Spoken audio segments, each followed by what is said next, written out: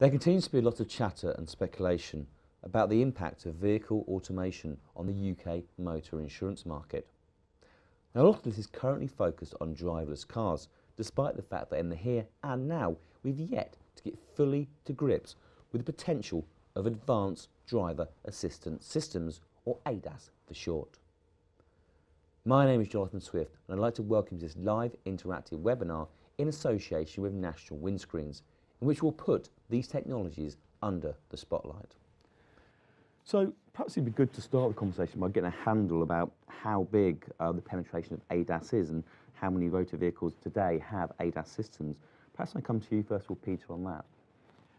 The, the experience that we see at the moment is that about 10% of the vehicles on the road have um, ADAS systems on them that, that require calibration. Um, the statistics are, are wide and varying in terms of where that will end up, but at the moment it's looking somewhere between 40 and 50% by 2020, which is only three years' time. Ian? Uh, thanks, Jonathan. Well, I think that uh, figure's uh, uh, very much lowballs the situation. I think it's probably closer to 30% uh, plus at the moment. Um, I think ADAS has quite a wide um, uh, kind of catch-all in terms of uh, technologies it encompasses, so AEB, ESC, uh, and all the rest of the various different acronyms. And I think we find that people are probably not aware of a lot of the technology that's on the vehicles at the moment. So I would say at least 30% at the moment. I think that would rapidly grow going forward. And I think perhaps a better way to look at it would actually be the, the, the number of systems uh, rather than the fact they've got a piece of, uh, of ADAS technology on them. David? I agree. I think uh, the official numbers are understated. Uh, and also, I think we have a problem as insurers in terms of if something's fitted as standard on a model, then we know about it and we can build that into our, our pricing and claim service. But most of these things are optional extras. Um, at the current time, certainly at the quotation stage, we've absolutely no way of establishing what's fitted to a vehicle. So I think that will be understating the numbers but also, as I say, will be causing us problems in making sure that, you know, if we're going to encourage these things, we need to offer premium discounts, and we can only do that if we know they're fitted to a vehicle. Finally, Adam. I totally agree with the panel so far, but I think the, the vehicle manufacturers often don't have statistics to actually support the current view. Many of these uh, systems are additional extras that a driver selects when he orders a vehicle, and those extras are not always included in the VIN recognition software that exists within the vehicle manufacturer. It's, it's tricky going forward, but I think it's going to grow rapidly because it's a, a step in a journey where uh, we want to reach autonomy at some point, and these systems actually provide the link, the stepping stones, if you like, to get to autonomy. So if I can ask you, Adam, I mean, what can insurers do to make sure they have a better insight and a better kind of um, their actual records are actually up to date with you know, the policyholders and what kind of systems they have? Or?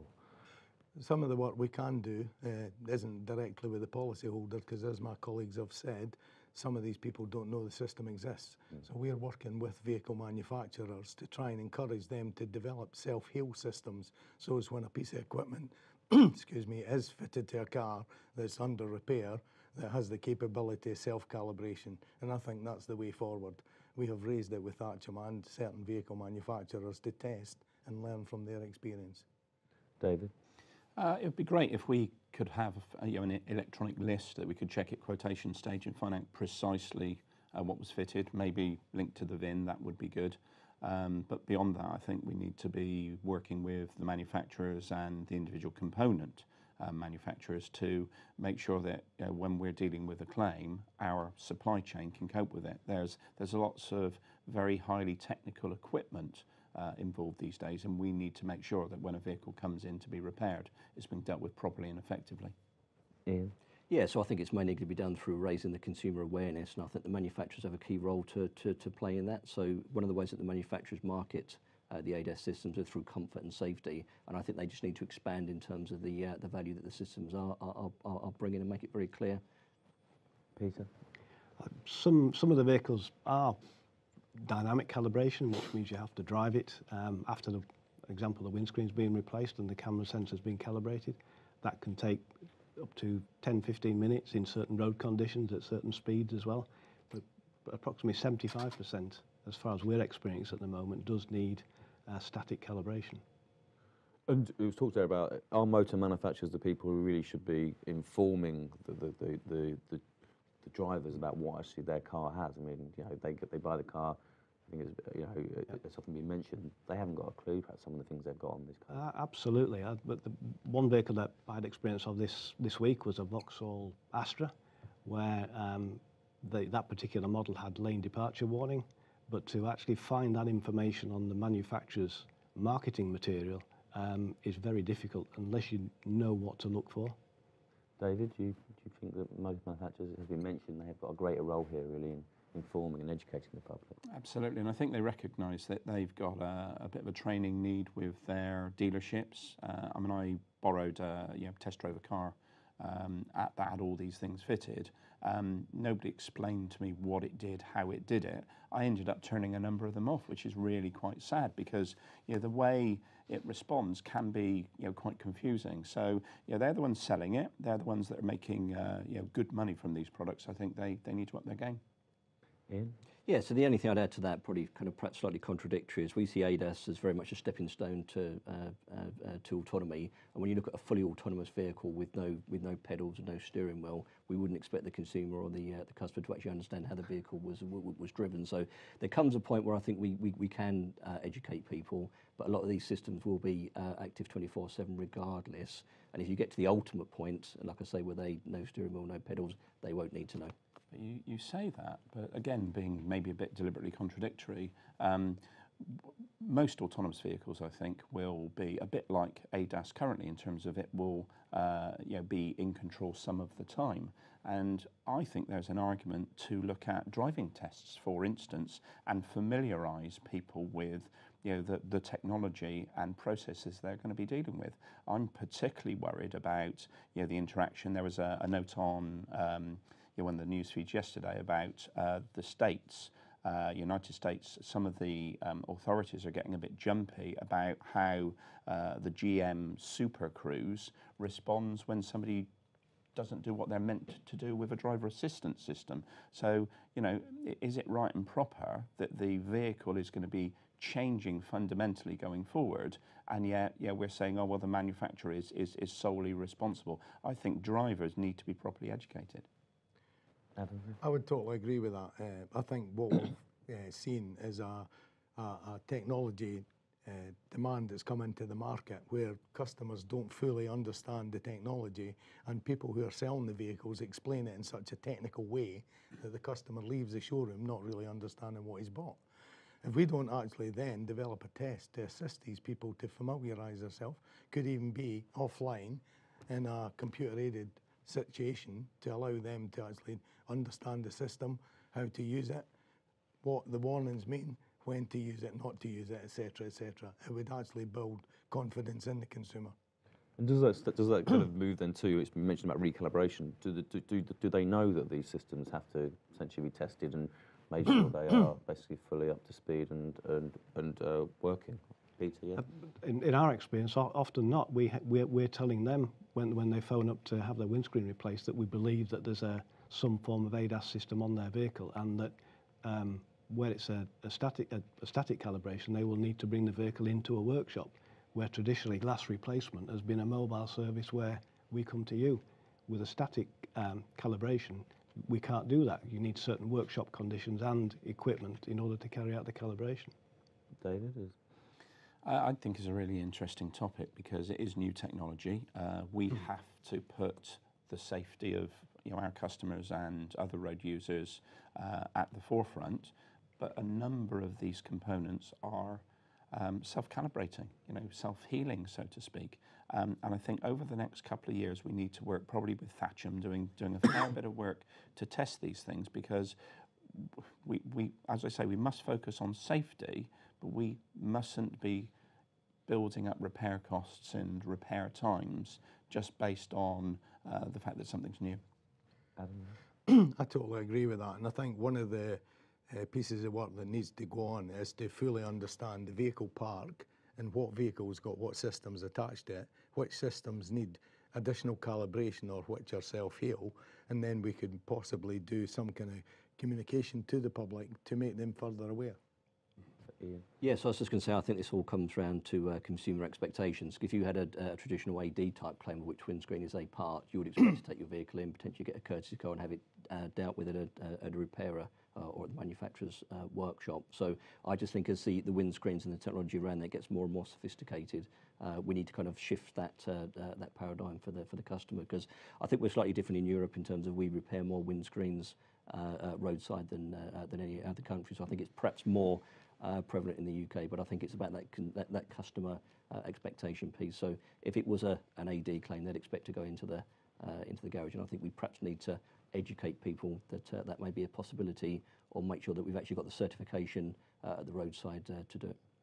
One, one of the issues we've actually come across recently is where consumers have run cars for years and they've probably had two or three windscreen claims in their lifetime. And all of a sudden they come along with a more modern vehicle which has got technology added to it. And you explain that there's going to have to be some additional work. They get confused completely. They don't understand what that technology is uh, on the vehicle to do and they do not understand the word recalibration. That is a, that's very technical to them. So awareness and consumer uh, communication is really vital. But I do think taking it back to the vehicle manufacturer at the point of sale, there's more to do. Yeah. And and where are we with the moment with guidelines with, with regards to recalibration? Perhaps come to you on that, Peter. Thatcham produced a, a code of practice in July this year that, that lays out some pretty fundamental, um, broad uh, requirements for um, repairers to calibrate a windscreen and what advice and information to give to the driver if it's been calibrated and, and more importantly if it hasn't been calibrated and the fact that they shouldn't rely on that system and, and, until it's been attended to. Does this go far enough? So, so I, th- I th- I think the Thatcham code is a uh, is a great starting point. It's very it's very customer uh, and safety focused as well. So it's actually about explaining to people in terms of whether they do have the technology in there, what they need to do, whether it can be re- repaired or not uh, roadside. And I believe they ultimately get a certificate at the end uh, once it's been uh, uh, complete, completely recalibrated and uh, uh, and repaired. So I think it's a really good starting point. David? Uh, I think at some point in time we've got to get into the thorny topic of cost. Um, I remember a time when we almost didn't count windscreen claims because they were a volume churned through. You know, um, they could going forward be one of the most expensive repairs that we have. Um, and you know, we, we have to make sure that we always put safety first, but that doesn't mean that we should be running up unnecessary calibration uh, fees. Um, also, I, I think you know we, we need to think of customer convenience. And whilst I'm sure there will be a lot of people, and maybe you know motor manufacturers specifically, who quite like the idea of using advanced technology to keep things in their supply chain, and maybe you know make things take a little bit longer, hourly rate, or that sort of thing.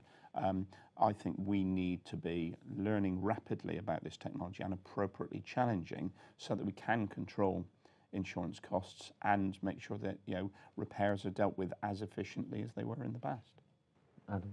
The technology that's on the vehicle can be repaired in any repairer with the right technology, with the right capability.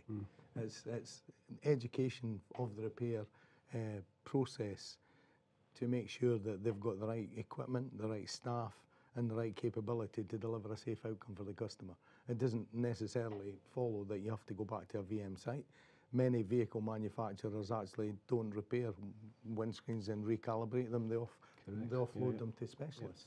So I think there's a, a two-tier thing here. I think there's also uh, awareness within the repair community what technology is required to repair ADAS systems, and also how they could actually stop outsourcing that type of uh, revenue stream to make it more profitable for themselves, and it would encourage it to be done in-house more readily. And, and obviously, always, what, what get mentioned is also that you mentioned the cost. There's obviously a cost of the repair in the sense Yeah. training, the kind of what the technologies they'll have to bring in house. And does that mean that you know insurers will have to work in partnership with a select number to make sure essentially there is a certain amount of volume going through, which means they can obviously do these, uh, invest that. I mean, is, is that what we're looking at? A lot of the repairers have the calibration equipment for different systems on the car. It's not just windscreens that are actually attached to ADAS systems. There's other things. A simple door mirror change can require the vehicle to be recalibrated in certain circumstances. Removal of the inner door trim panel just to actually carry out a repair to a door sometimes requires a recalibration because it's got a sensor within the door that measures its uh, density of volume. So there's there's lots of things that they currently have. It's, it's more that people in the past primarily outsourced that type of repair to specialists like Peter's equipment supplier, etc., etc. But what we, what we need to do is measure the capability based on a volume of vehicles with this equipment on it. First of all, I think that's an important part. Peter? Yeah, in our experience, um, the, the, the cost of the calibration equipment and the, uh, the, the boards that, that, are needed around between 10 and 15,000 pounds each. And there's 11, as far as we, we understand, 11 different types of boards depending on the different manufacturers. Some manufacturers have more than one board as well. So it's a learning process for us all the time in terms of understanding and trying to keep a pace with um, what's coming through through the manufacturer's pipeline. Ian? Yeah, so I was just going to come back to the uh, to the point around cost. And I think ADAS generally, and kind of taking it slightly away from windscreens for a moment, is actually uh, potentially going to be driving up claims inflation. Uh, so we're already seeing that across AD uh, and and our PD heads. Uh, and a lot of that's down to um, the fact that you've got lots of uh, uh, expensive sensors positioned kind of behind the grille in various different places, as well as on the windscreen.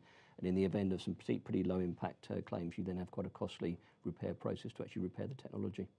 David? Uh, yeah, if you look at ABI figures, I think they say that um, damage claims have increased by 25%, you know, the cost over the last three years, which is, you know, um, pr- pretty good growth. Um, and when we look at our own uh, figures and analyse them a bit more, we're seeing a much higher level of inflation with own damage claims. Now, to me, that tends to be people driving into the back of other vehicles or other things. So that's suggesting to me that the inflation, the vast majority of the inflation, is coming from the front end of the vehicle, and that's clearly where a lot of this ADAS technology is is fitted. So uh, you know, it, it's an increasing problem, something we need to build in our pricing. But going back to you know repairers and who's capable, and we've you know, quite a while now moved more towards networks than individual repairers. Um, obviously, that's disappointing for individual repairers, but you know, when we started talking about PAS 125, you know, British standards, and even the modern materials that were going into vehicles ahead of this technology, you needed specific equipment and training, and it's only the networks really that are commanding the volume um, that can afford to invest.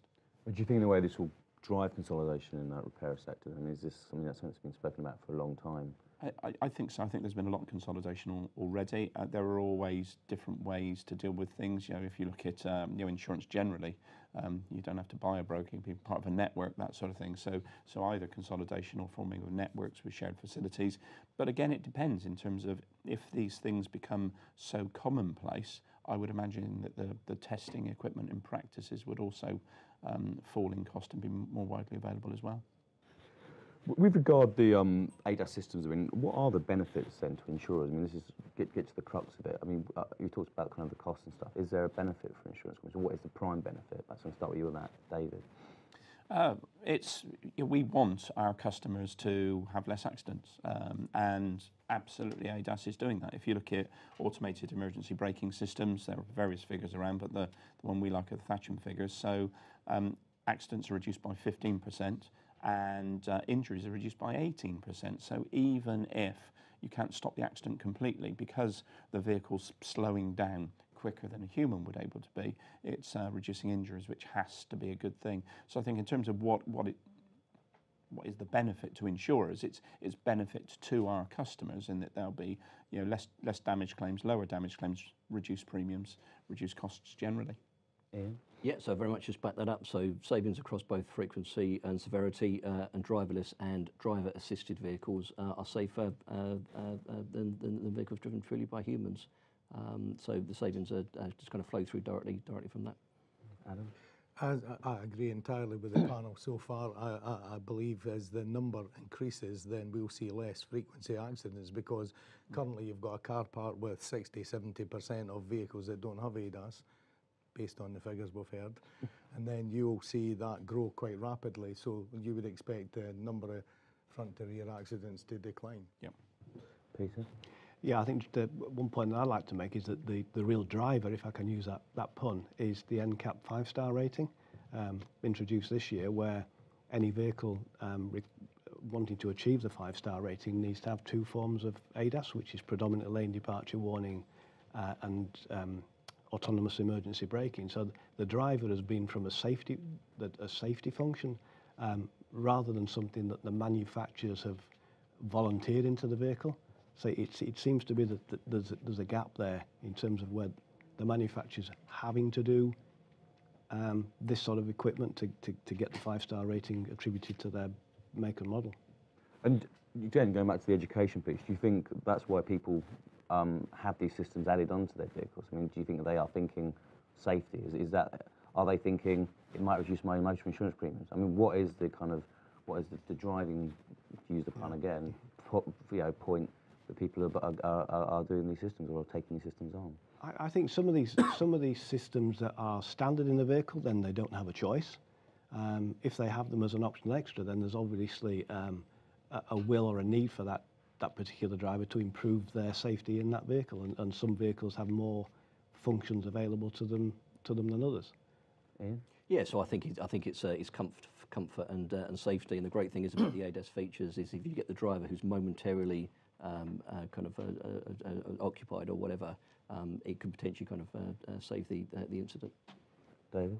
I, I think different things for different customers. Uh, but if you think of Volvo, for instance, as far as I'm concerned, their their entire, you know, uh, sales approach is is based on safety. You know, you you know that if your family are in a you know big Volvo, they're going to be safer than in some other vehicle. So I think there is that element. I think there's also the maybe the convenience play.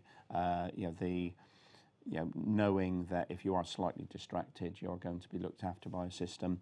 Um, but there's there's potentially another line of approach completely and absolutely. If we're saying we're all convinced, all in agreement that these things are safer, um, should there not be regulatory pressure? I mean, there already is in terms of AEB on HGVs, but you know, if we are saying that these um, uh, fitments will improve road safety, how long before whether it's local authorities or, or government start insisting on them in, in particular circumstances? Finally, Adam? I, t- I agree with everything that's been said on the panel, but I think that the consumer uh, who currently buys the most vehicles with ADAS is the fleet user. So most of the vehicles that are within the fleet market currently actually have ADAS for different reasons. One of the reasons is to enhance employee safety and actually aid for the distractions that go on within a busy business mind as he's driving along a vehicle. Do we think regulation, from you, Peter, is actually something that is feasible, is possible? Do you, do you think that's something that might actually be on the... I, yeah, I think so. One of the questions that, that, that we've been asking is, is should calibration come part of the MOT service? You know, should, should there be more frequent uh, requirements for calibration? Certainly in terms of um, probably the, the, the insurance and the insurance world is that the insurer having the comfort knowing that those systems that are in the vehicle are actually operating as they would expect to operate. Ian? Uh, yeah, absolutely. I think they should uh, uh, form part of the uh, uh, the MOT. And finally, David? Uh, yeah, I- I mean, what we haven't seen yet, um, mainly because manufacturers are arguing these are driver assistance systems only, and therefore, yeah, the responsibility um, for any accident lies with you. But you know, maybe we will see a claim where that concept is challenged. You know, maybe somebody's done a repair on the vehicle and they've not bothered to calibrate it, or maybe there's there's something more fundamental to the manufacturer. But yeah, maybe because most of the claims we see are, are small little little shunts, little um, uh, bumps and things like that. There's there's not been that pressure. But if there was a substantial, serious accident, and the effectiveness of these systems was called called into question, then I think there would be a legal challenge. Um, and you know, if, if we had somebody seriously injured or, or killed, um, then I think absolutely that could lead to you know, regulatory change and imposition in, in the MOT and other aspects. Look, we Obviously, the word the motor manufacturers have come up quite a few during this discussion at the moment. I mean, what is the relationship between, you know, insurers and motor manufacturers and the repairers as we sit here today? I mean, those, I mean, are those conversations something that's very much ongoing? Is, does there need to be kind of more dialogue and more cooperation and partnership? Um, Adam? We, we currently have a great relationship with all the leading manufacturers, and there's lots of different debates and discussions go on, Jonathan. If you look at ADAS, it's only one of a number of things that's actually coming over the wall that actually we'll have to contend with in future claims. Uh, glass used to be the front windscreen, the back windscreen side uh, of a vehicle. It's now actually you can get a vehicle that's totally the top half of it is complete glass. So things like that actually require us to get access to repair methods to make sure that we are currently able to guide network repairers to make sure they repair the vehicle safely. So it's the whole piece. Technology is changing the, the vehicle landscape and the capability of the vehicle. And the consumer slightly behind the curve. They're aware of it, but they're not on top of it.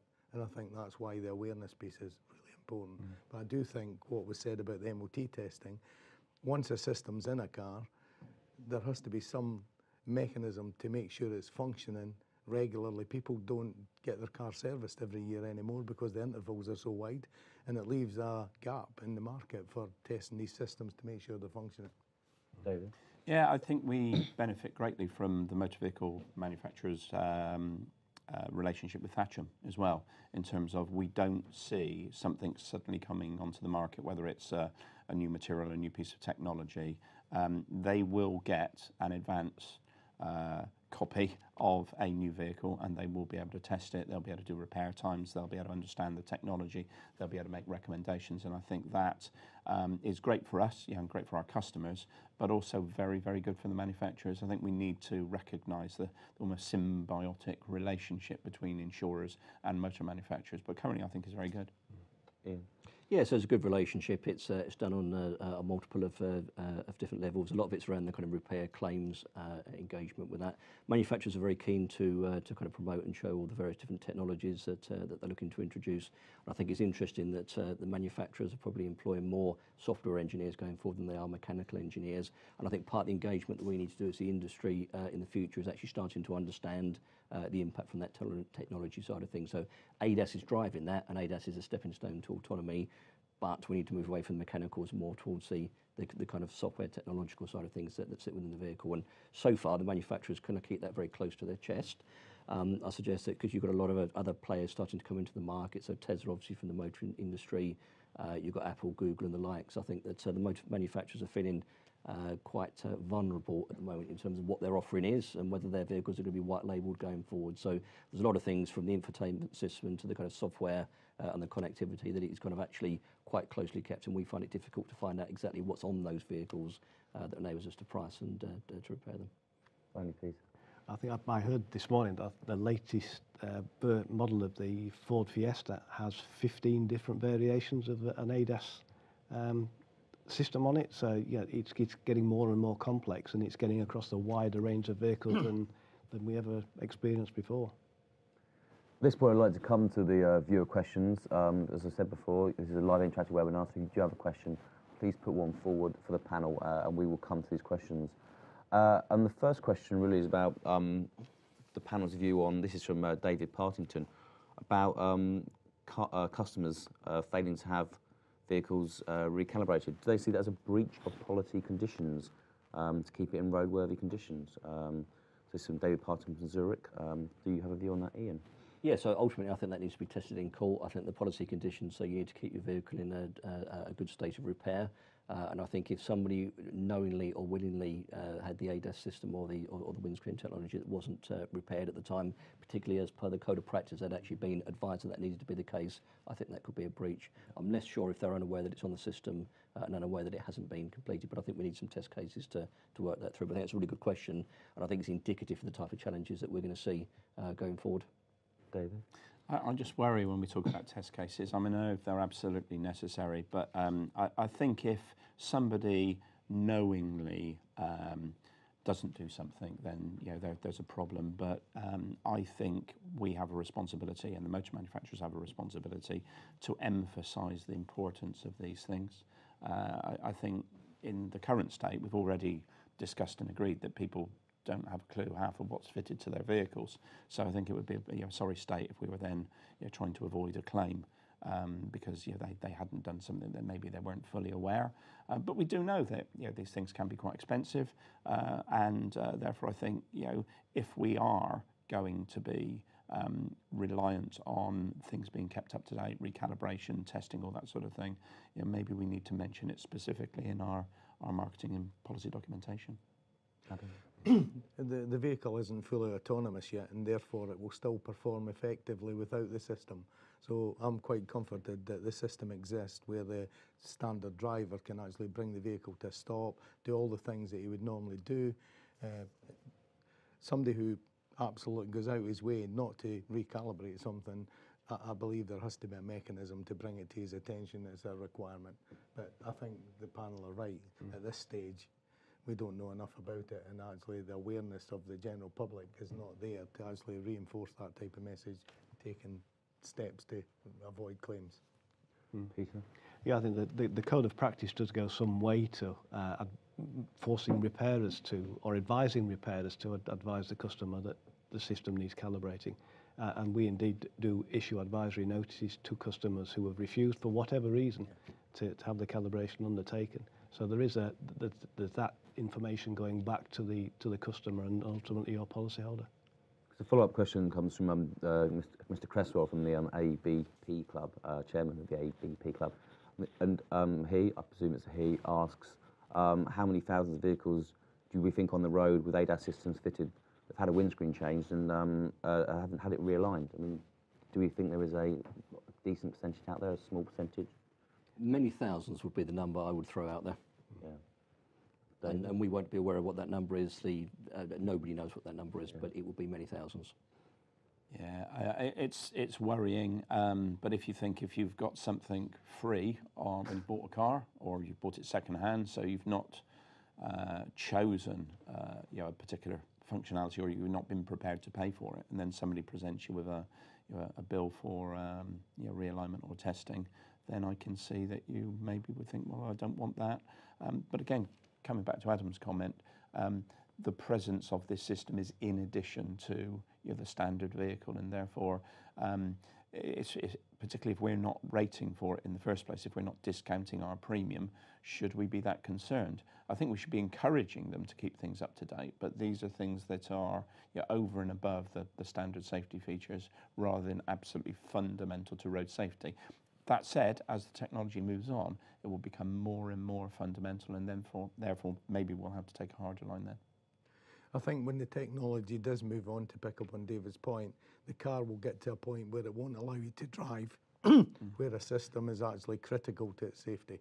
I think that's what's getting developed as we speak. I think consumers are largely fleet owners, and those fleet vehicles get sold more readily than any other vehicle.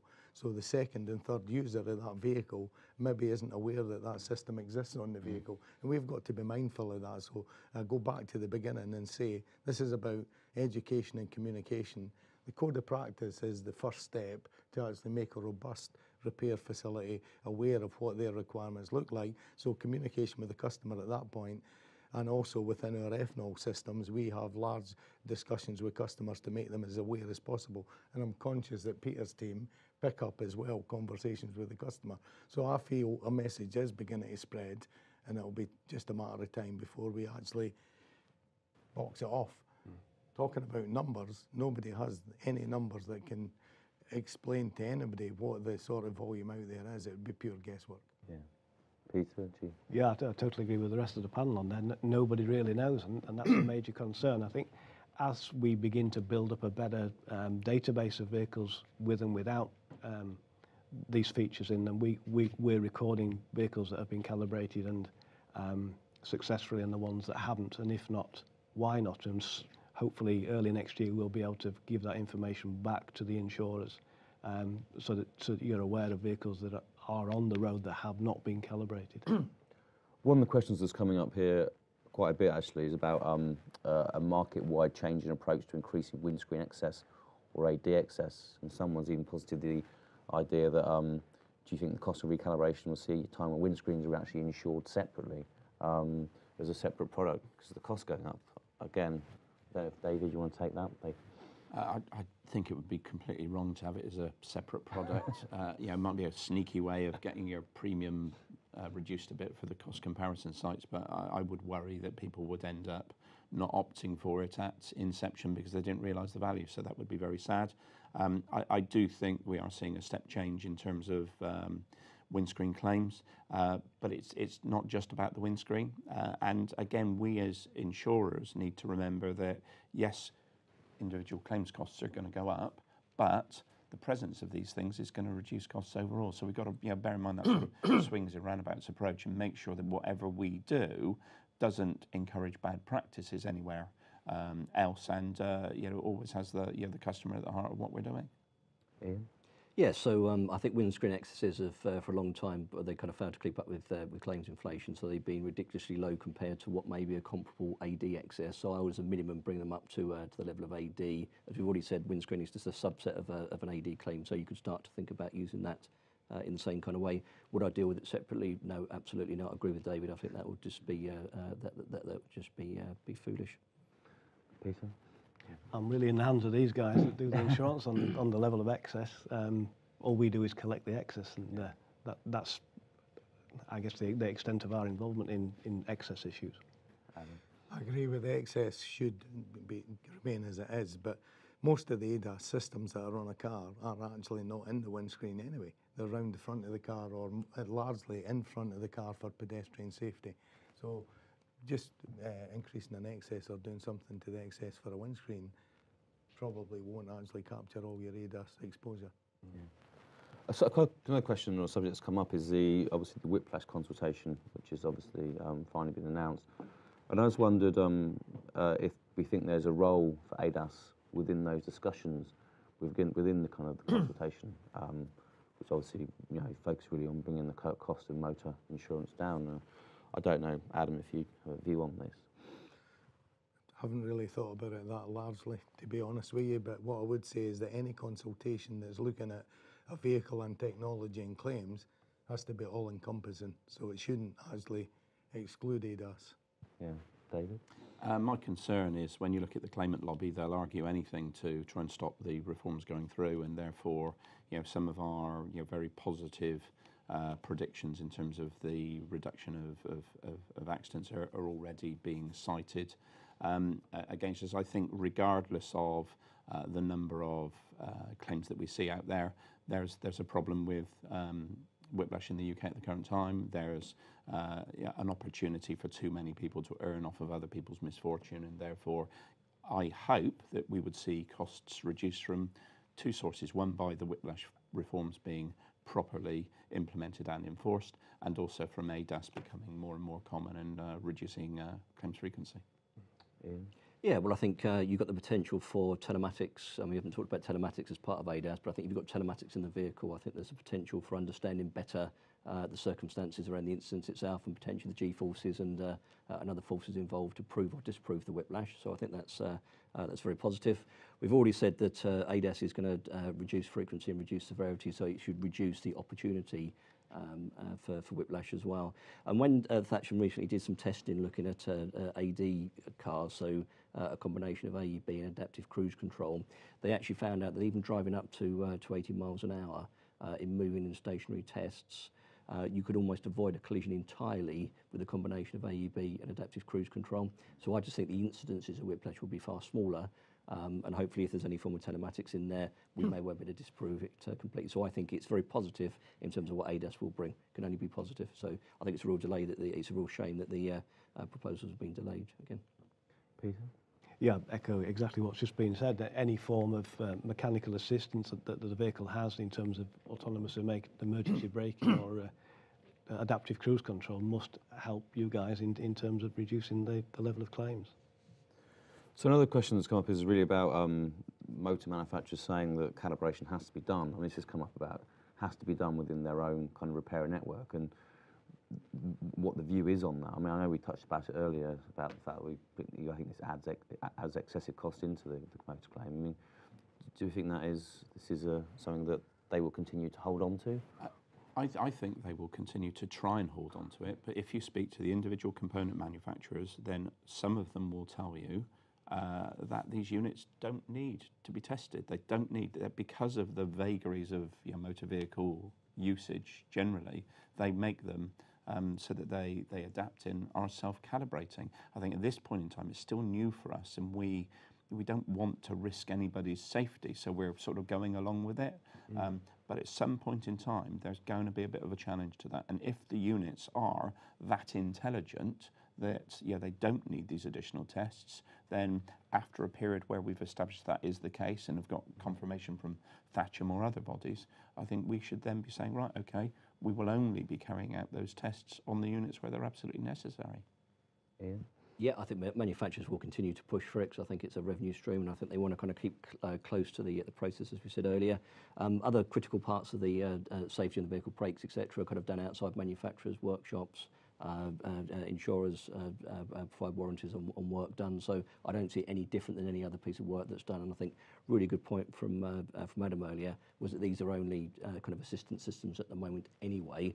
Um, so they've perhaps got a, slightly less of a, the urgency perhaps of actually kind of making sure you, fix some of these brakes correctly. So manufacturers will continue to hold on to it, but I think we, we need to resist. Some of the vehicle manufacturers outsource some of the servicing and repair to independent factors anyway. Uh, so it defeats the object. But I've met uh, people who repair cars over many, many years, and independent body shop chains and repair chains don't actually set up businesses to repair cars ineffectively. They make sure vehicles are repaired correctly and safely to return the, cu- the customer to the state they were in pre-accident and, and give them a level of confidence. Peter?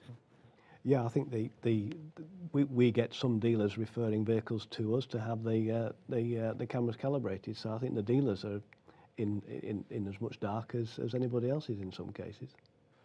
There's a question here from um, actually one of Ian's colleagues, Joseph Mills from RSA. I don't know if that name rings any bells, but um, uh, Joseph asks that obviously with ADAS, some manufacturers are using their own versions of, say, um, lane control, for example, um, with different limits exceptions, and mm. asks if there's anything mm. done to allow insurers to understand the differences between the manufacturers, both from a technical and safety perspective.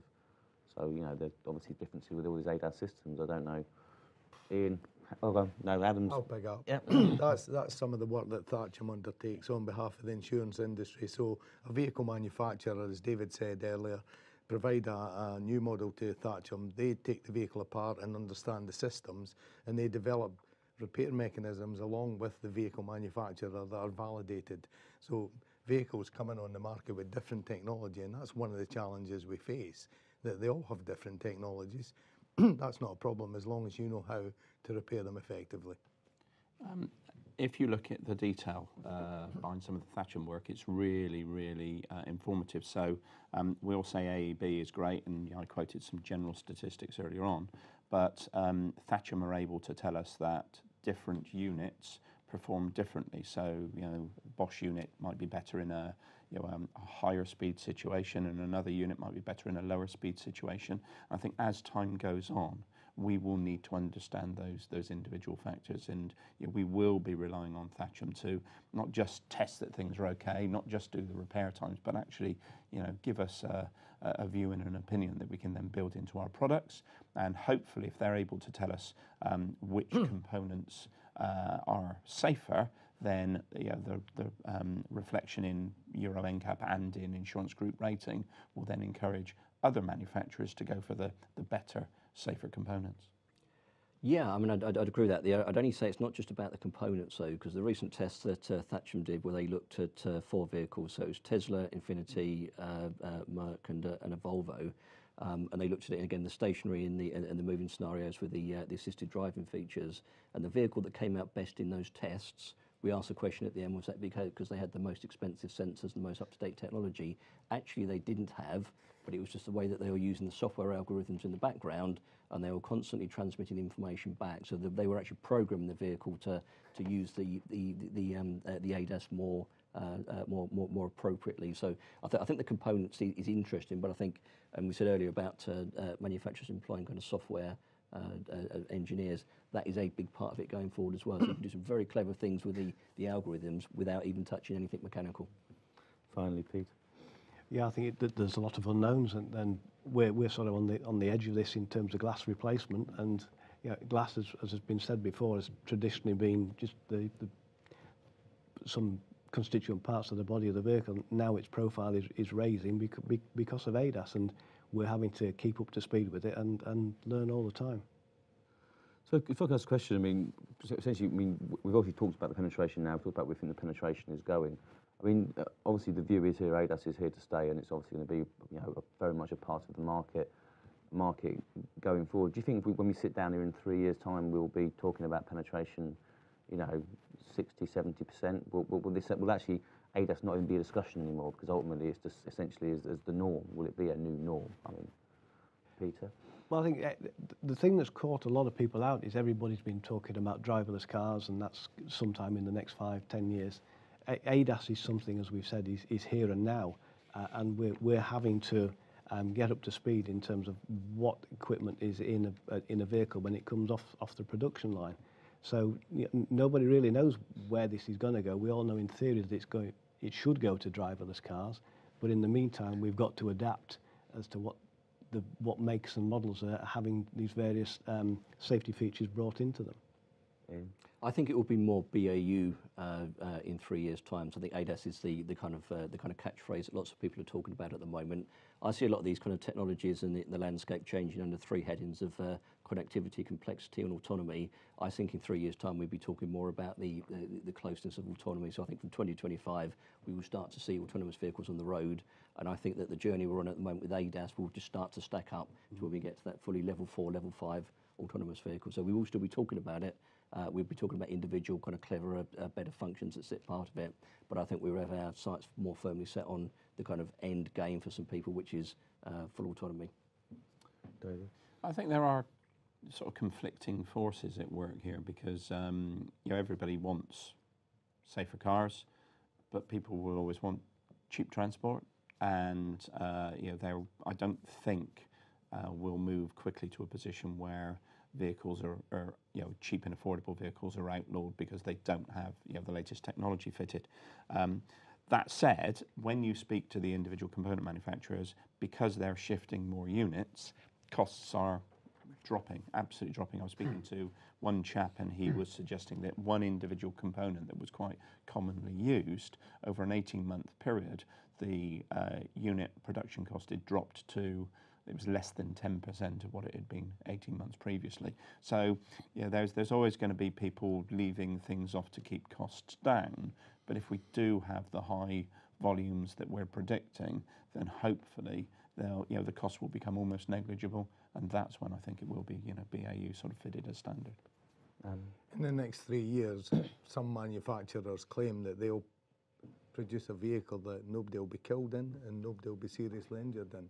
If they're able to make those type of comments, and I've been to the plant that actually made those comments, the technology exists. They're currently running 600 vehicles, learning every day about what the driver actually does when he's driving a vehicle. Whenever they get the information to a certain place, they will refine the systems, and by using volume, they'll actually contract the cost downwards. They'll drive cost to the right level, therefore it'll become more affordable. But the advantages of this equipment in the future will be the car can tell you who's at fault in an accident. It can tell you how many occupants were in the car. It can also stop the car and it can do various other things. So we're only beginning to see the technology change now. And in three years, if you look at global technology changes, I think we'll be sitting here shaking our heads wondering what happened. Okay, gentlemen. Well, I'll say thank you very much um, for, for taking part in the discussion and to answering the viewers' questions. So I'd like to thank very much uh, Peter. I'd like to thank Ian. I'd like to thank David. I'd like to thank Adam. Thank you very much. Thank you. Thanks, Jonathan.